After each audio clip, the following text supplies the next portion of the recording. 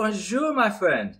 As we all know, 2020 hasn't been a great, a good, a bad, um, let's just say it hasn't been living up to our expectations so far.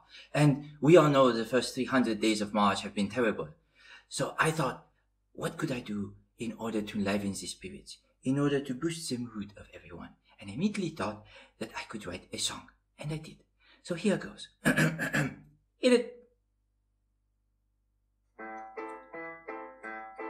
When you're feeling down and style, want to make everybody smile, wear a bow tie.